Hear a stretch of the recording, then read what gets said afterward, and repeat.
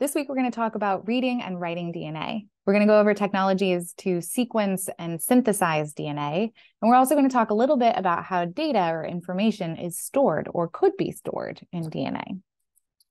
Now, you interact with a lot of data every day. Each text that we send is 50 to 500 bytes of data. The average email is around 10 kilobytes of data. Uh, each photo contains 1.5 to 3.5 megabytes of data. There's also data associated with tweeting or scrolling on TikTok. Um, and as a global population, each of these texts and emails add up to being a pretty insane amount of data. Globally, it's predicted or estimated that we send about 65 billion texts via WhatsApp every day. And that's just one messaging service. So the true number of texts sent each day is probably much, much higher than that. Send about 300 billion emails every day, which is the equivalent of 3.4 million emails getting sent every second of every day. There are about 5 billion photos taken every day and more than 700 or 17 million videos posted to TikTok every day. And all of this information that we generate, all of this data has to be stored somewhere. Some of it is stored locally on your phone, but some of it is stored in the cloud. And you know, we know that this data is stored because we can go back and access it later, right? I can read text messages that I sent yesterday and look at pictures that I took last year. So we're, you know, have a data store, a looming data storage problem in 2025, it's predicted that we're going to be generating 33 zettabytes of data each day. And a zettabyte is an insane amount of information. Just for reference, today we usually talk about petabytes of data. And a petabyte of data is a lot of data. It's the equivalent of 20 million filing cabinets completely filled with text, right? If you were to write really densely on a piece of paper, and do that over and over and over again until you've filled 20 million four drawer filing cabinets. That's how much um, information is stored in a peta- petabyte of data. It's also 13.3 years of HD video. It's just an unfathomably large amount of data. And we're already at the point where we're generating multiple petabytes of data each day. And a zettabyte of data is a thousand times bigger than a petabyte there's an error in this slide. I'll correct it later. Um, so a zettabyte, 33 zettabytes of data is a lot of data. And the question is, what do we do with all of this data? Where do we store it? Where do we keep our information as a society? Well, some data is stored in storage facilities that look like this. This is actually an image of a Google storage facility, data storage center you can click this link at the bottom of the slide to see a YouTube video where they actually walk you through this center. And what you'll see when you watch the video are rows and rows of servers where there's hard drives storing information that you can uh, query and access from Google's online interfaces. But when you're not looking at your Google Doc or you're not looking at your Google Photo, it's sitting there in one of these data centers just waiting for you to access it. It's not clear exactly how much data is stored in each data, data center, but Google has several of these all over the world. And it's estimated that they currently store about 10 to 15 exabytes of data. And so we will need essentially to increase the amount of data that data storage capacity that we have or start to think more carefully about whether we need you know bursts of photos for every situation that we get into. Now, I wanted to just think about the kind of digital data information for a minute and think about how we've stored it so that we can contrast it with how data is stored in biological systems.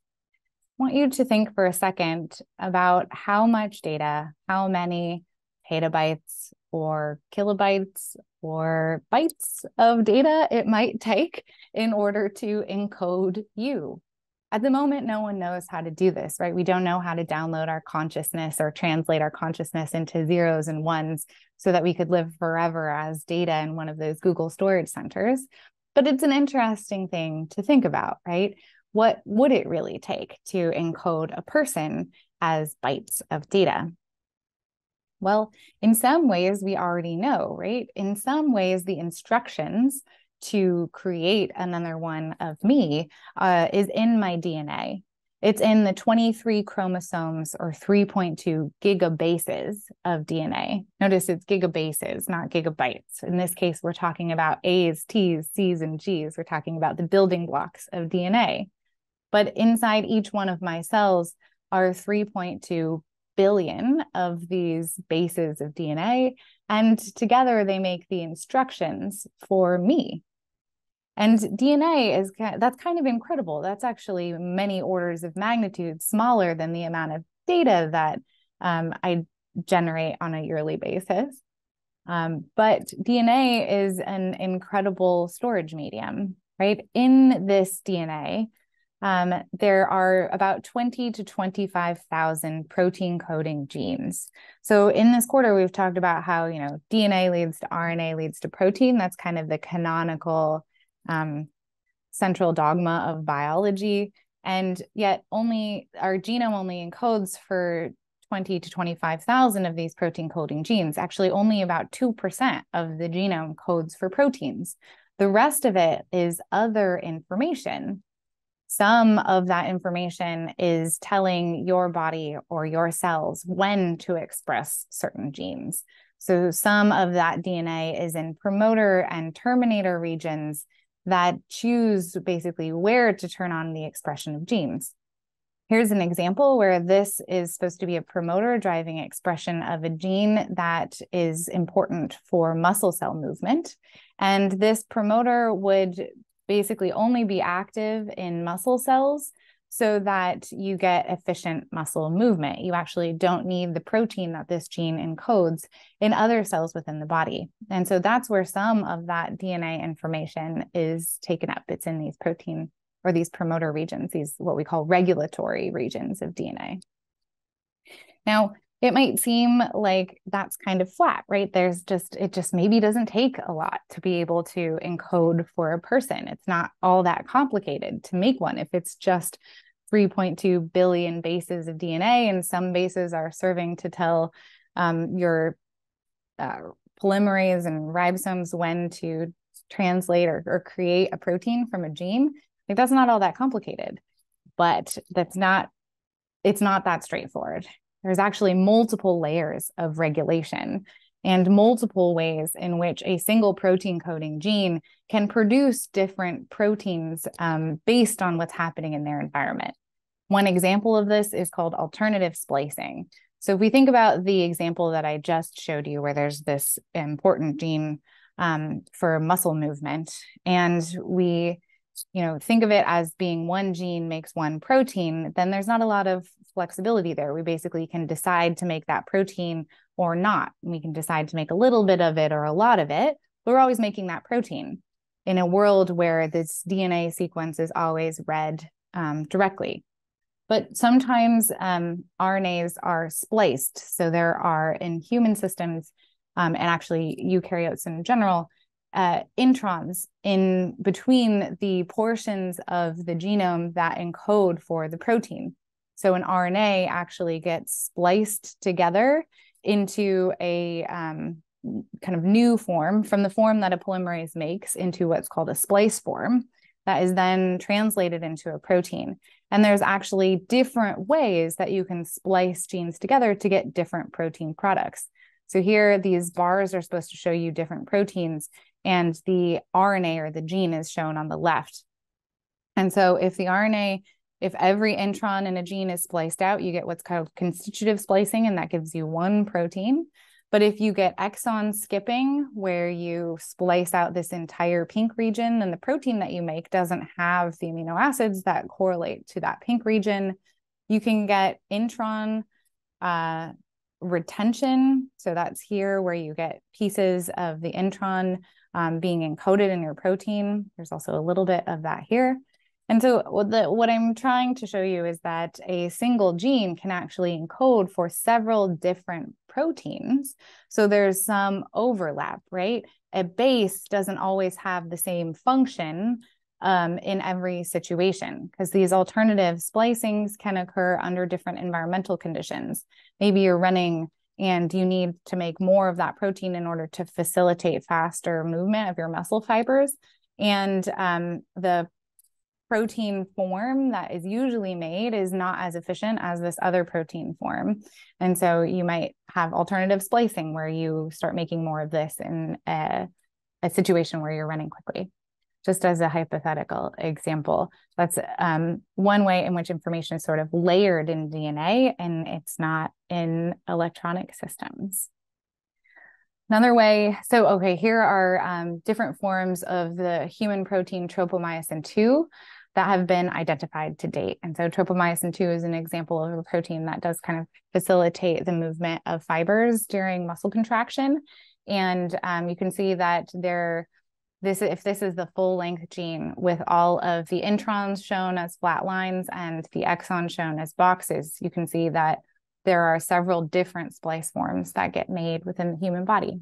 So this one segment of DNA, although it looks like it's only encoding for one protein, is actually encoding in this case for at least five or six different types of protein. So I think that's interesting. Another way in which DNA is an information rich carrier is because the shape of the DNA actually can affect gene expression. So, like splicing, shape is another layer in which information is encoded within DNA.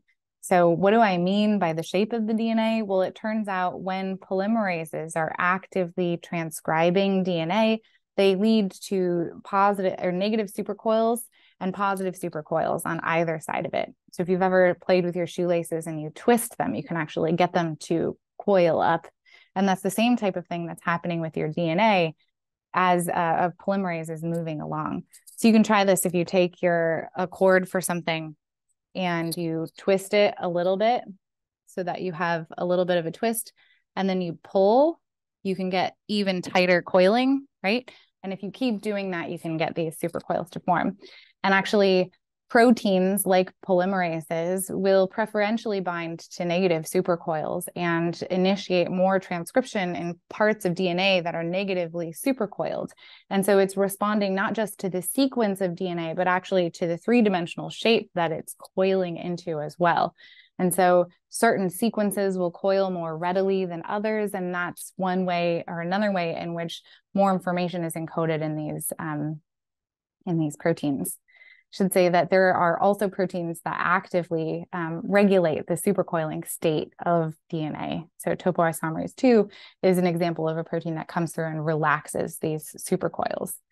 Um, so it's you know heavily regulated within your cell what the shape of the DNA looks like. In addition to the sequence, that shape is important for getting good gene expression or um, you know accurately running your genetic program. Okay, so small changes in DNA sequence can dramatically change the phenotype of a biological system.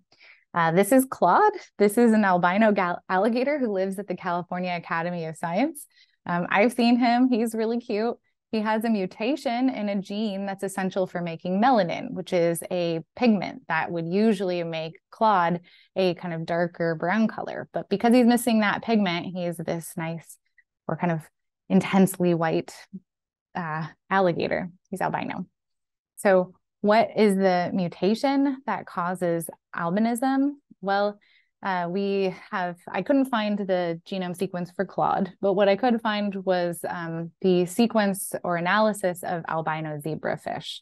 So this is a wild type zebrafish, which has these beautiful stripes. And an albino zebrafish does not have the capacity to make those striped pigments. So he's um, not striped. And this albino zebrafish has a premature stop codon in a protein that's important for melanin production. That protein is called SLC45A2. Kind of a mouthful, doesn't mean a lot, but this um, stop codon means that the gene is not expressed in these zebrafish, and a single gene deletion, the missing one protein, is causing this um, pretty striking phenotype. Here's just the genome sequence of the wild type zebrafish. This is the codon that would usually encode for a glycine. And when it's mutated, when this first base is mutated to a T, like it is in these albino fish, you get a stop codon instead. And so as the ribosome is reading through, it reads this stop and it says, oh, I'm done. And it stops making protein. So you get a truncated form of this SLC45A2 and you don't get the full protein that you need in order to make melanin in these fish. So I thought that was um, a nice demonstration of how important DNA sequence can be and how important small changes can be in the phenotype of an organism. Now, it's not just in the protein coding regions that um, changes in DNA sequence can dramatically alter an organism's phenotype. Here's an example from tomato where the authors made or the scientists made changes in the promoter region upstream of a gene called clavata3 these mutations change how strongly Clavata3 is expressed. So in the wild type, it's expressed pretty strongly. And then as you make more and more mutations, you reduce the amount of Clavata3 and you get um, uh, different phenotypes here. And so you can see the the fruit locule number or kind of the um, and also the size of the fruit changes as you change the expression of this gene. So this week we're going to go through DNA reading and writing, right? How do we know that those changes in DNA um, are underpinning those phenotypes? How are we able to observe what the sequence of DNA is, right? We can't um, take it out of ourselves and just like look at it. There are methods for figuring out what the sequence of DNA is. And so we're going to go over kind of the cutting edge of DNA sequencing.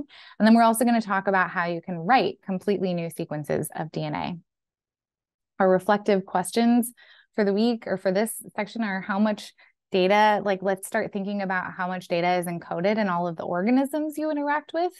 Um, we have a lot of statistics about how much data you interact with through your phone or through the internet, but how much are you interacting with biotically? And then why do changes in DNA alter living organisms? We talked about how changes may lead to proteins no longer being expressed or to changes in how much protein is being expressed. But are there other things you can think of? And then what are the potential benefits of sequencing an organism's genome? We'll get into this a little bit in the next lecture, but I'd like you to think about it for yourself. What could you learn by sequencing an organism's genome? And then finally, why are people interested in synthesizing new sequences of DNA? What are the potential advantages of being able to do that? All right, I'm excited to talk to you about DNA technologies this week, and I'll meet you at the next lecture.